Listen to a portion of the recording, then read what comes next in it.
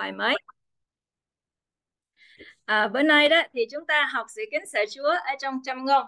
À, có một lần nữa có bốn câu à, ở trong trăm ngôn. À, thật sự ra à, trong trăm ngôn có hai phần. Từng từng này mình học một phần và tuần sau mình học một phần. À, sách trăm ngôn đó là à, bao gồm à, những cái siêu tầm cái người tác giả của sách trăm ngôn là vua Solomon với dạ, vài người tác giả khác nữa. Và họ siêu tầm những cái lời khôn ngoan những cái lời tục ngữ của một dân sự mà kính sợ Chúa à, được ban cho lẽ thật của Chúa. À, cho nên chúng ta có thể học rất là nhiều à, về sự khôn ngoan thông sáng à, và sự kính sợ Chúa trong sách trăm ngôn. À, và hôm nay mình học uh, Câu đầu tiên là trong châm ngôn đoạn 1 câu 20 đến câu 29. Ngay mở đầu chương 1 thì chúng ta thấy sự kính sợ Chúa như thế nào. À, chúng ta đọc chung nha. 1, 2, 3. Sự khôn ngoan hô lên ngoài đường. Các tiếng dội ra nơi phố chợ. Khôn ngoan kêu la ở đầu đường dọn dục ồn ào. Tại cửa thành và nội trong thành người phán lời mình ra. Mà rằng, hỡi kẻ ngu dốt các ngươi sẽ mến sự ngu dại cho đến bao giờ? Kẻ nhạo báng sẽ ưa sự nhạo báng và kẻ dại dột sẽ ghét sự tri thức cho đến chừng nào. Nhưng vì ta trách các ngươi, các ngươi khá trở lại. Kìa, ta sẽ đổ thằng lên ta trên các ngươi. Ta sẽ làm cho các ngươi biết những lời của ta. Bởi vì ta kêu gọi mà các ngươi không khứng nghe. Ta giơ tay tay ra, lại chẳng có ai chú ý nhưng các ngươi đã bỏ hết lời khuyên dạy ta, không chịu lời của trách ta.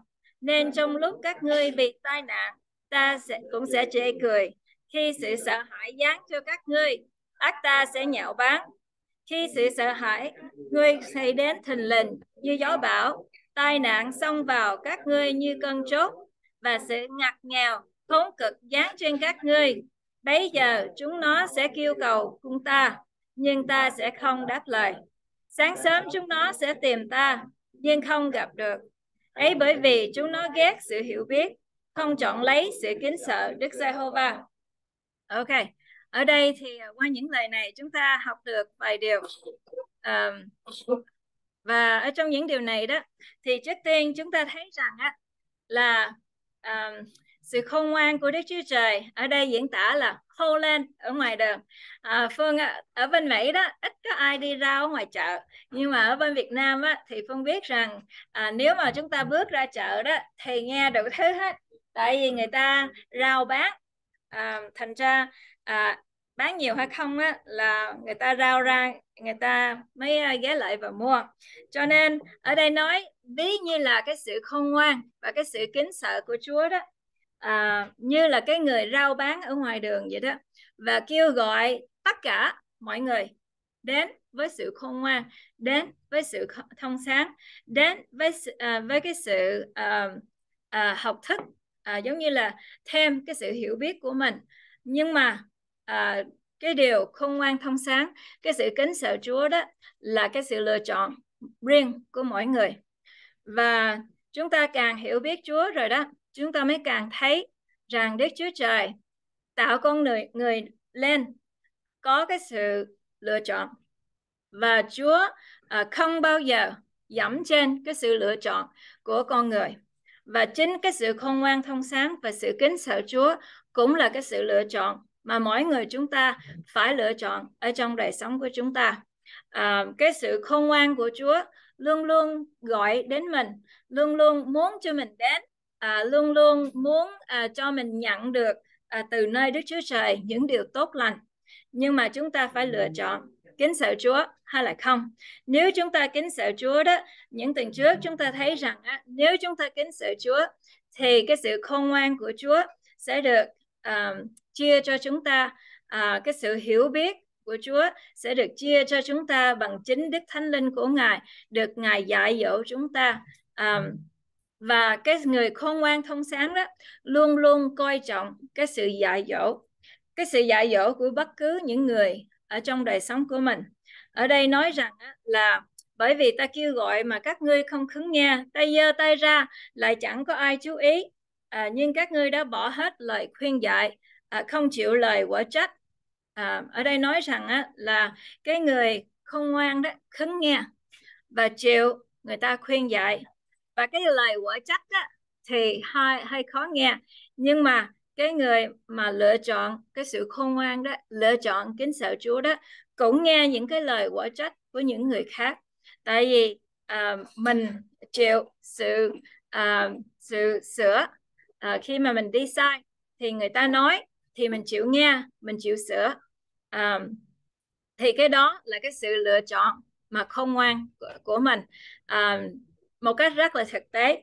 Thành ra mình không thể nói rằng mình là không ngoan nếu mà mình không nghe những cái lời khuyên dạy à, những cái lời khuyên nhủ của những người mà Chúa đặt ở trong đời sống của mình nhất là những cái người quan tâm đến mình một cách thật tình. Đương nhiên có những cái người họ thích nói uh, họ thích nói rất là nhiều điều uh, nhưng mà họ chỉ nói thôi họ thật sự không có quan tâm đến mình những cái người mà thật sự quan tâm đến mình đó khi mà họ khuyên dạy mình đó, khi mà họ um, uh, có những cái lời quở trách đó, thì chúng ta phải hạ mình xuống và chúng ta phải chọn lắng nghe họ. Và cái sự khôn ngoan là như vậy. Nếu không thì ở trong trong đây nói rằng á à, diễn tả một cách rất là à, kinh hãi. À, khi tai nạn xông vào à, khi sự ngặt nghèo khốn cực giáng trên các ngươi à, rồi những cái sự sợ hãi xảy đến thình lình à, tất cả những cái điều đó đó thì cái à, ở đây nói rằng à, cái sự khôn ngoan sẽ cười cười chê ở trên cái con người đó. À, thành ra à, cái điều trước tiên mà mình học ở trong sách à, trăm ngôn đó là cái sự kính sợ Chúa đó làm cho con người chịu dạy dỗ chịu lựa chọn để nghe những cái sự à, sửa phạt đối với nhất là những cái người mà quan tâm đến mình mình có một cái tai để lắng nghe à, lời khuyên nhủ cái sự xử phạt của người à, của người khác. À, đó là cái sự khôn ngoan mà đến cho mọi người. À, ăn thua mình lựa chọn chấp nhận hay là không thôi ở trong đời sống của mình. Thành ra điều đó là điều đầu tiên mà chúng ta học về sự khôn ngoan à, hay là sự kính sợ Chúa à, trong sách uh, trăm ngôn. Rồi đến à, à, số 2 và số 3 những câu này ngắn hơn nhiều thành ra rất là dễ. À, à, số 2 là trong ngôn đoạn 8 câu 13 mình đọc chung nha. 2 3 sự kính sợ Đức Giê-hô-va. Ấy là ghét điều ác ta ghét sự kiêu ngạo sắc sự con đường ác và miệng gian tà. Ở đây liệt kê ra tất cả những cái điều mà không tốt à, điều ác sự kiêu ngạo cái sự sắc sự à, con đường ác và miệng gian tà. À, ở đây nói đến một cái hướng đi của con người một cái phẩm chất của con người cái sự sắc sược đó. À, có khi nó là à, à, nó là có nhiều người gọi là cái bổng tánh đó. À, và cái sự kiêu ngạo à, thì đến bởi những cái kinh nghiệm của mình.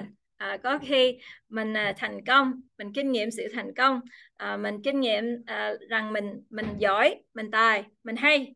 À, cho nên mình mới có những cái sự kiêu ngạo à, nhưng mà tất cả những cái điều đó đó khi chúng ta kính sợ Đức Chúa Trời đó à, thì chúng ta à, thấy chói những cái điều đó. Ở đây nói rằng ấy là ghét điều ác. À, trong thi thiên đó mình diễn tả rằng á, là à, mình giữ mình trong sạch thôi giống như là sự khung à, sự kính sợ của Chúa giữ cho một người trong sạch. Nhưng mà ở đây còn hơn là giữ mình. Nhưng mà ở đây nói rằng mình ghét nghĩa là mình không có chịu nổi uh, mình không có sống chung với uh, mình không có uh, chấp nhận được cái những cái điều gì mà xấu mà ác. Uh, sự kính sợ Đức Chúa Trời là như vậy. À, thành ra à, sự kính sợ Chúa ở trong trăm ngôn đoạn 8 câu 13 đó là à, mình gặp những cái điều gì xấu hay là ác đó thì mình không có à, mình không có chấp nhận được. Và chúng ta thấy một cách rất là thực tế rằng á, là um, một lần nữa đó ở trên đời sống của mình đó à, nhất là chúng ta đi làm chúng ta mấy đứa trẻ đi học à, chúng ta gặp phải rất là nhiều điều. À, và ở trên thế gian này mình còn sống ở trong thế gian mình cũng biết rằng á là có khi mình mình nhìn hay là mình giữ phần rồi mình muốn nhìn thêm rồi hay là mình không có muốn bỏ đi. Nhưng mà à, giống như là trong sách thi thiên nói rằng á, mình không đứng cái chỗ người, người nhạo báng mình không ngồi cái chỗ của cái người không công bình mình không dự phần vào những cái công việc đó. À, mình không có chịu đựng những cái điều mà sai trái với cái lẽ thật của Chúa với cái sự tốt lành của Chúa. À, đó là ở trong cái làm ăn buôn bán đó là ở trong cái cách cư xử à, giữa người với người.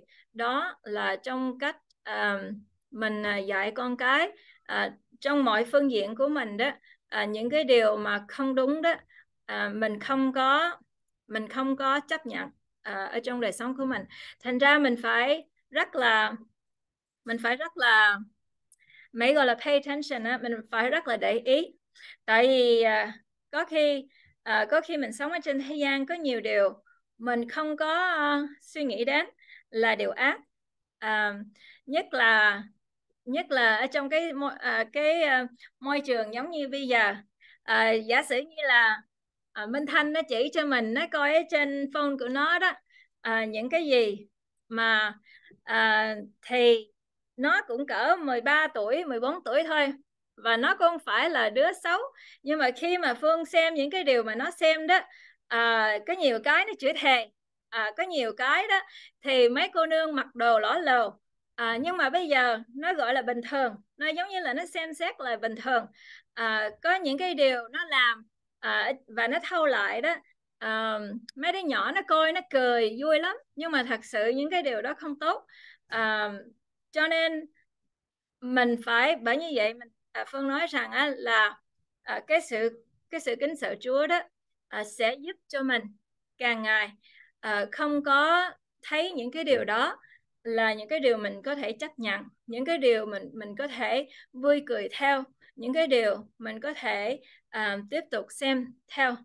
Um, và có khi mình phải làm những cái điều uh, giống như là uh, tắt hết những cái social media tắt hết những cái này những cái kia.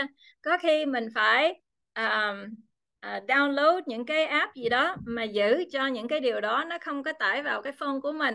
Uh, có khi mình phải uh, giống như là không dùng những cái uh, những cái app như là Facebook hay là gì đó uh, hay là mình chỉ uh, mình tập luyện một cái uh, Mỹ gọi là discipline á một cái uh, một cái thói quen là mình chỉ lên đó để làm cái gì thôi mà mình không có để hai uh, chục phút ba chục phút một tiếng đồng hồ uh, để mà xem những cái điều đó uh, phải không? Tại vì uh, mình xem càng nhiều đó thì nó trở thành cái sự chấp nhận của mình đối với tất cả những cái điều đó.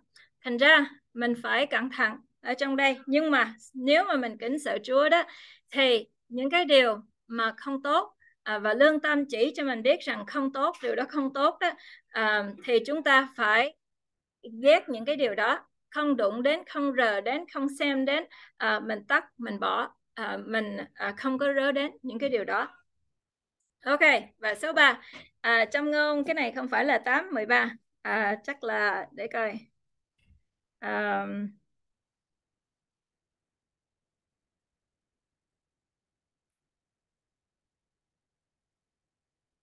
Con biết là số mấy Nhưng mà nó không phải là 8, 13 Nhưng mà cái câu đó à, là đúng. Thôi mình đọc cái câu à, số 3 nha. 1, 2, 3 Nhờ sự nhân từ và chân thật tội lỗi được chuộc và với sự kính sợ Đức Giê-hô-va người ta xây bỏ điều ác.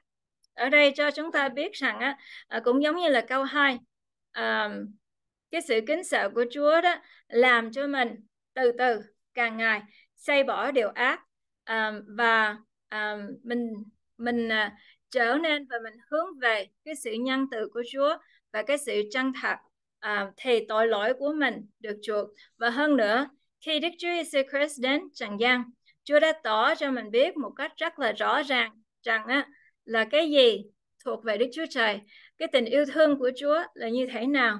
À, những cái luật pháp mà Chúa ban hồi thời cựu ước đó có khi người ta hiểu có khi người ta không hiểu. Nhưng mà khi đến Đức Chúa Giêsu Christ thì Chúa cắt nghĩa rất là tận tường rằng có hai điều thôi. Mình kính Chúa mình thờ phượng Chúa là đáng tạo hóa của mình và mình yêu thương nhau đó là cái sự nhân từ đó là cái sự tốt lành đó chính là cái điều mà Chúa đòi hỏi nơi mình. Thành ra cái sự kính sợ của Chúa đó sẽ đem mình từ cái tội lỗi đến à, cái điều xây bỏ tội ác và đến sự cứu rỗi của Chúa. Và mình sẽ được tha thứ à, và được chuộc những tội lỗi của mình à, bằng huyết của Đức Chúa Jesus Christ khi mà mình xây bỏ tội lỗi đó khi mà mình ăn năn những cái điều đó cái này rất là quan trọng tại vì à, những cái điều mà mình không xây bỏ những cái điều mà mình không ăn năn đó thì mình sẽ không được tha thứ. Đương nhiên mình sống ở trong cái ăn điển của Đức Chúa Jesus Christ mình không cần xem xét từ nhỏ tới lớn tôi phạm biết bao nhiêu tội để tôi xin hết để tôi được tha thứ. Lỡ mà tôi có thiếu một cái tội nào tôi không được tha thứ thì tôi đi địa ngục. Cái đó không phải. À, mình sống ở trong ăn điển của Đức Chúa Jesus Christ nhưng mà uh, cái sự kính sợ của kính sợ Chúa đó làm cho mình càng ngày càng Mỹ gọi là sensitive đó càng tế nhị đối với cái sự tốt lành của Chúa đường lối của Chúa công việc của Chúa. Uh, và mình khi mà mình như vậy đó mình sẽ càng ngày càng thấy rằng á, những cái điều mà trước kia mình làm đó uh, nó không có đúng theo ý Chúa nó không có theo cái sự nhân từ của Chúa nó không có theo cái cái tấm lòng yêu thương của Chúa.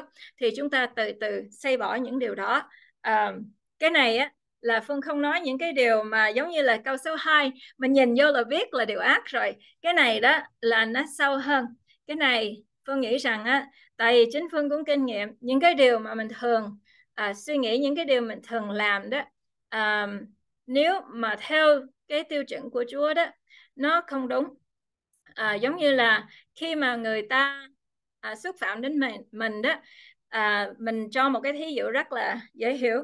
Khi người ta xúc phạm đến mình đó à, có khi mình suy nghĩ rằng á, là à, chừng nào họ xin lỗi mình thì mình tha thứ cho họ hay là chừng nào mình cảm thấy rằng ở trong tấm lòng của mình cái sự giận đó nó nguôi đi hay là cái sự đau đau lòng của mình nó đã dịu xuống đó thì mình sẽ tha thứ cho họ nhưng mà khi mà mình bước đến với Chúa rồi đó mình thấy rằng á, là cái sự tha thứ là mạng lệnh của Chúa. Chúa biểu mình tha thứ cho tất cả những người xúc phạm đến mình. Cái đó không phải là cái sự lựa, lựa chọn cái đó không phải là theo cảm giác của mình thấy là có thể tha thứ cho người ta hay hay là chưa? Thành ra bởi như vậy phương mới nói rằng á, là cái này nó khác với câu số 2 là như vậy. Nó trừ từ ở trong cái tấm lòng của mình từ ở trong cái uh, linh của mình mà đức thánh linh chỉ cho mình biết rằng á, là oh, hồi xưa uh, mình không có thấy điều đó là ác uh, nhưng mà bây giờ mình phải xây bỏ những cái điều đó.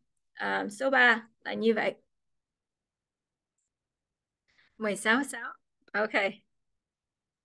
Châm ngôn 16 câu 6 để cho chính xác. Và câu cuối cùng ngày hôm nay là trong châm ngôn đoạn 10 câu 27 mình đọc chung nha. 1 2 3 sự kính sợ Đức Giê-hô-va gia thêm ngày tháng còn 5 tuổi kẻ ác sẽ bị giảm bớt đi.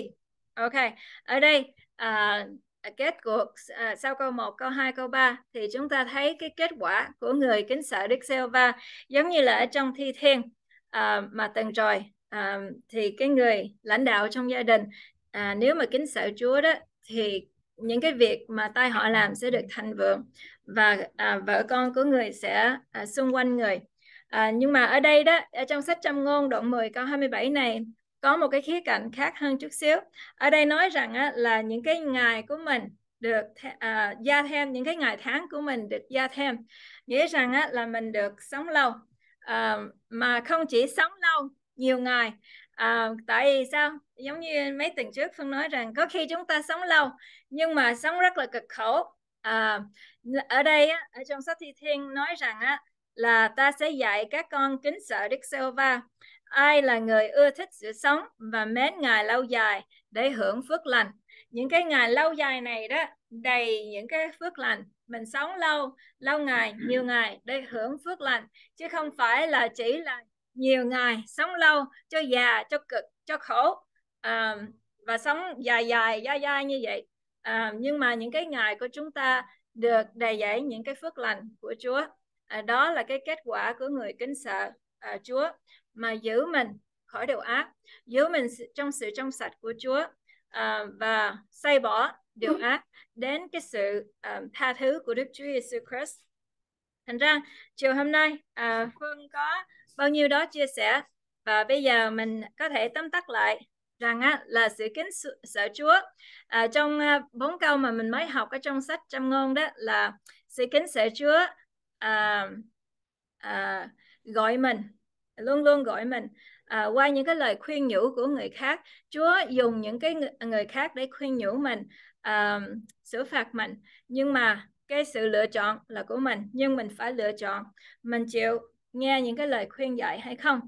Um, Đức Chúa Trời làm việc rất là uh, nhiều phương nhiều cách. Phải nói là nhiều phương nhiều cách. Có nhiều người nghĩ rằng á, là nếu mà Đức Chúa Trời nói với tôi đó thì tôi sẽ nghe. Nhưng mà anh hay là chị á, nói thì thôi tôi không thèm nghe nhưng mà không phải như vậy đâu. Đức Chúa Trời dùng những người này những người kia để khuyên nhủ mình. À, thành ra mình phải nhận biết những cái điều đó à, và mình phải lựa chọn. Nghe hạ mình xuống. À, chịu nghe những cái lời chấp nhận những cái lời khuyên nhủ đó. Và số 2 sự kính sợ Chúa là ghét điều ác và xây bỏ điều ác. Và số 3 sự kính sợ Chúa đem cho chúng ta những ngày dài và tốt lành à, đó là những điều tóm tắt lại à, mà chúng ta học trong bốn câu châm ngôn chiều hôm nay. À, tuần tới chúng ta sẽ học thêm à, bốn à, câu ở châm ngôn à, về sự kính sợ Chúa nữa. Những điều thực tế ở trong đời sống của mình. À, nếu có ai có điều gì chia sẻ hoặc là à, hỏi thì chúng ta có thể à, chia sẻ vài phút. Chúng ta còn cả 10 phút trước khi chúng ta kết thúc tối hôm nay. Ai muốn hỏi câu hỏi gì không? À, bỏ vô chat. À, Trang á. Dạ chị Trang. À dạ. À, hồi nãy á có nghe nghe Nam Phương nói là giống như là sự kính sợ Chúa là cái sự khôn ngoan giống như là à, Minh Thanh á có có coi cái gì đó có coi mấy cái cái cái uh, hình mà uh, lõ lồ hay là cái gì đó. Trên TikTok. Đó thì dạ thì bây giờ nhân mình nghe cái đó cho nên mình là trung niên tuổi của mình là trung niên không à thì mình cũng có những cái đứa con nó cái hạn cái tuổi nó mới lớn vậy đó. Cho nên á khi mà mình học được cái bài này cái sự khôn ngoan của Chúa thì mình à, mình là những người bậc trung niên mình cũng nên khéo léo dạy dỗ con cái mình cái sự khôn ngoan như vậy. Biết không? Biết đâu lỡ nó có bạn trai hay bạn gái rồi đó. Rồi á nếu mà nó nó coi những cái đó thì nó không có cái sự khôn ngoan của Chúa thì nó sẽ đi xa hơn nữa đúng không? Đó cho nên mình mình học được cái bài học này thì mình cũng nên nói chuyện với con cái của mình. Tại vì khi mà mình học được thì mình phải dạy dỗ cho con cái của mình để cho nó uh, khi mà nó nó nó nó nó yêu đương hay cái gì á nó phải có sự khôn ngoan của nó đừng có đi xa hơn nữa đó là là chị học được cái bài học uh, tại vì lứa tuổi của mình là có những cái đứa con mà uh, nó nó nó nó đang yêu đương rồi đó. Cho nên mình bật cha mẹ mình cũng nên khôn ngoan mình nói chuyện với con mình những cái điều nên làm hay không. Giống như mình kính sợ Chúa mà cái thân thể này là là đền thờ của Chúa thì mình phải khôn ngoan như thế nào khi mà mình quen bạn trai bạn gái đó mình mình phải khôn ngoan mình đừng có đi quá xa hơn nữa. Đó tại vì bây giờ hình giống như là nó lên Google hay TikTok gì đó có nhiều cái mà nó bị cám dỗ đó. Cho nên Thiên nói khi mà mình học được cái sự khôn ngoan thì cái người chia sẻ đầu tiên là mình phải chia sẻ cho con cái của mình. Đó là là Trang có nhiều đó ý kiến? À, cảm ơn chị Trang chia sẻ và có khi uh, có khi nó biết có khi nó không biết. Mình phải uh, uh, mình phải xem mình không phải là xem xét giống như là mình uh, uh, uh, mình uh, dẫm trên cái cái sự riêng tư của nó. Nhưng mà thật sự từ trẻ đó mình phải coi những cái điều mà nó coi ở trên phone. Là lâu phải lấy ipad của nó lên cái mạng coi những cái trang mà nó xem là cái gì. Là lâu phải lấy iphone của nó um, và ở trong nhà Phương á, thì nếu con lớn thì có thể mình không làm được nhưng mà khi mà nó còn trẻ 6, 7, 8, 9 tuổi đó thì um, mình khuyến khích nó um, hỏi nó con đang coi cái gì ở trên đó vậy? Hay là con đang chơi cái gì vậy? Tập cho nó nói cho mình biết. Um, và khi mà nó nói cho mình biết á mình đừng có la nó tại vì mình la nó cái đầu chừng nữa nó không cho mình biết. Nhưng mà mình nói với nó it's not okay nghĩa rằng á, là cái đó không đúng đâu con. Rồi mình cắt nghĩa cho nó tại sao cái đó không đúng. À, tại giống như là giả sử như là à, bây giờ cái model cái mod là mặc cái quần à, mặc cái quần cục rất là cục. À, rồi nó mặc cái áo thun trùm lên á thì giống như là không có thấy cái quần luôn. Nghĩa là nhìn vô á tưởng đâu nó không mặc quần. À, rồi nó nói không có cục lắm đâu. À, ai cũng mặc như vậy đó. À, nhưng mà mình phải cắt nghĩa với nó là đối với cái người nhìn vô đó họ sẽ tưởng con không có mặc quần thì con nghĩ làm sao? À, thành ra có khi mình phải cắt nghĩa cho nó tại vì à, đối với nó đó thì ai cũng làm như vậy cái đó là bình thường chỉ ba mẹ là không bình thường thôi. À, thành ra ờ, có khi mình phải cắt nghĩa là tại sao nó nó không có ok. À. với ai mà có con trẻ đó thì phương khuyến khích cái cái này um, mình hỏi chuyện đó từ nhỏ um, và mình tập cho nó nói cho mình những cái việc riêng tư của nó. Giống như là con trai lớn của phương đó từ nhỏ đó à, từ khi nó thích à, con gái rồi đó à, nó yêu sớm lắm. Chắc cỡ cỡ lớp 4, lớp 5 là nó nó về nó kể cho mình là câu nào đẹp ở trong lớp nó rồi. Thành ra cô Phương cứ khuyến khích nó à, là ô kể cho mẹ nghe có cái vấn đề gì mẹ xử cho con à, thành ra khi mà bây giờ nó lớn lên rồi đó nó cũng vẫn nói cho mình biết à, những cái vấn đề ở, ở trong đời sống của nó. À, thành ra à, đó là những cái cách mà mình có thể giúp những con cái của mình xây bỏ điều ác à, là mình phải có một cái mối liên hệ tốt với nó. Cảm ơn chị Trang đưa lên một điều rất là quan trọng à, yeah, tại vì á mình mình tụi nó không có học kinh thánh nhiều giống như mình. Mà khi mà nó học á nó không có nó nó nó giống như là tay này nó qua tay kia. Nhưng mà mình là cha mẹ thì mình nên đi sát với con cái. Mình nên gần gũi. Tại vì cái tuổi này á nó mình nói nó tại vì mình học khôn ngoan của Chúa thì mình dùng cái khôn ngoan đó để mình nhẹ nhàng mình dạy dỗ nó. Đó là cái điều mà tiên thấy á, mình mình là tại vì mình học thì mình phải áp dụng mà áp dụng là áp dụng cho con cái của mình. Mình phải cho nó cơ hội. Giống như là à, mình giống như Nam Phương nói nãy đó đó mình mình nên nói những cái điều gì cho nó. Giống như nếu mà nó nó nó nó phạm lỗi gì đó mình nên lựa nhẹ nhàng hay là mình nói vậy á thì thì nó mới gần gũi mình. Chứ hỡn cái cái mình la lên thì nó không dám gần gũi nó không dám kể cho mình nữa đó thì mình thấy cái sự khôn ngoan mình áp dụng cái sự khôn ngoan đó nhất là cho con cái nó đang trưởng thành đó. À, cảm ơn chị. Ok à, nếu không có gì khác thì chúng ta cầu nguyện và chúng ta kết thúc tối hôm nay. Kính lại và ngôi Đức Chúa Trời, Chúa ơi, chúng con cảm tạ Chúa vì ở trong đời sống của chúng con có nhiều um, cám dỗ, có nhiều cạm bẫy, có nhiều uh, đường uh, đi, uh, xem dường như là đúng, xem dường như là tốt cho chúng con, nhưng mà uh, uh, rốt cuộc đem đến sự hư mất Chúa ơi. Chúng con cảm tạ Chúa vì tình yêu của Chúa uh, bao phủ chúng con những luật lệ của Chúa, những lẽ thật của Ngài làm những uh, hàng rào để che chở và bảo vệ chúng con. Chúa ơi, uh, Chúa ơi, chúng con à, hạ mình xuống trước mặt Chúa tối hôm nay chúng con đầu phục Chúa chúng con à, cầu xin Đức Thánh Linh luôn ngự ở trong chúng con và dạy cho chúng con biết à, sự khôn ngoan thật của Ngài để chúng con à, xây bỏ khỏi điều ác. À, khi nó đến với chúng con chúng con biết nhận xét và chúng con biết à, trừ đi và chúng con biết giữ mình một cách trong sạch ở trong đời sống này để chúng con à, bất cứ làm điều gì chúng con được phước của Chúa và chúng con có những ngày lâu dài ở trên đất này để làm nên à, những cái công việc tốt mà Chúa đã giao phó cho đời sống của chúng con để hưởng à, những điều mà Chúa ban cho chúng con để chung vui với những à, à, người thân của chúng con ở trên đất này mà Chúa ban cho cho chúng con ở trong đời sống này. Chúa ơi chúng con cảm tạ Chúa chúng con có bấy nhiêu lời cầu xin trong danh Đức Chúa Jesus Christ. Amen. Amen. Ok. Cảm ơn tất okay, cả. bye